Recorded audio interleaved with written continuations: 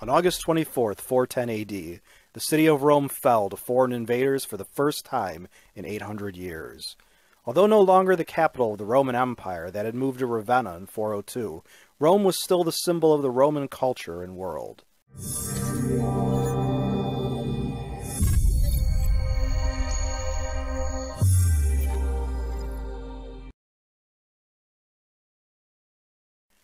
Rome had suffered the indignity of a previous sack in 387 BC or 390 BC, depending on dating system used, at the hands of the Gauls from France.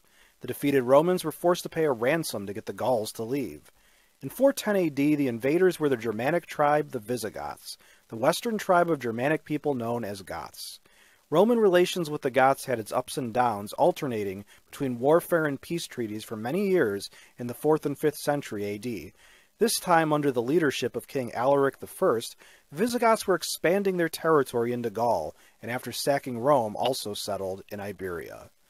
The Roman Empire had peaked around the mid-2nd century AD, and a precipitous decline began with the rise of the Goths in 376.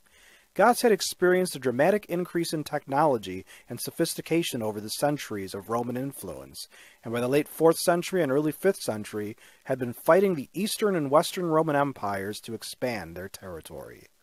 The two Roman empires had their hands full as Goths under Alaric I invaded Greece and even approached Constantinople. By 398, the Eastern Roman Empire had to negotiate an arrangement with Alaric, and the attention of the Visigoths turned to Italy. In 401, Alaric began his first invasion of Italy, the heart of the Western Roman Empire, but was defeated by Roman general Flavius Stilicho. The Visigoths' invasion of Italy received a renewed effort in 407, and Rome itself was besieged in 408. At this time, Rome was probably the most populous city in the world, with about 800,000 people. Rome was defended by Honorius, Western Roman Emperor from 393 to 423, with a garrison of probably less than a thousand men, while Alaric fielded an army of 40,000. Christian Rome was in a panic at the siege, and many reverted to pagan rituals in an effort to deter the Visigoths.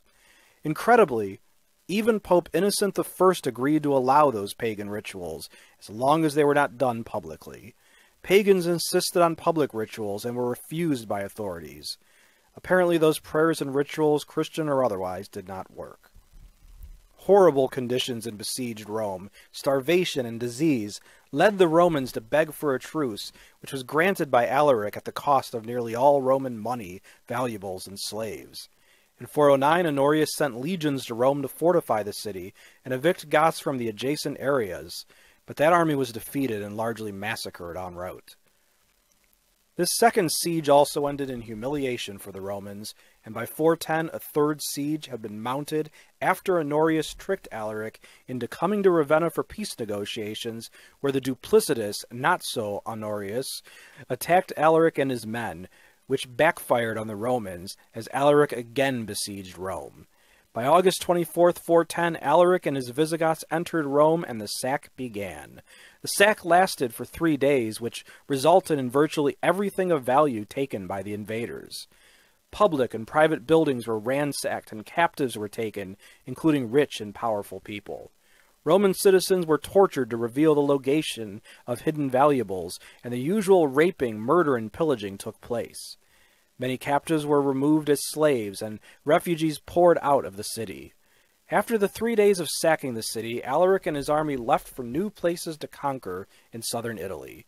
In spite of the savagery of the attack, this incident is considered mild for its type, considering there was no mass slaughter or annihilation of the masses, and that the two main cathedrals were allowed to stand as respected sanctuary. Later in 410, Alaric died of natural causes, and the Visigoths marched back to Gaul. Rome's population had shrunk to around 500,000 and Italy was devastated. In spite of the tremendous loss of wealth, the Western Roman Empire endured the indignity and continued, as did its Christian faith. But the empire had been terribly weakened. In 455, another sack of Rome occurred at the hands of the Vandals, and by 476, the fall of the Western Roman Empire finally happened. In a side note, both sad and hilarious at the same time, Emperor Honorius was given the news that Rome has perished. The emperor initially thought he was being told his favorite chicken, named Rome, was dead. If you like this video and would like to receive notification of new videos, please feel welcome to subscribe to History and Headlines.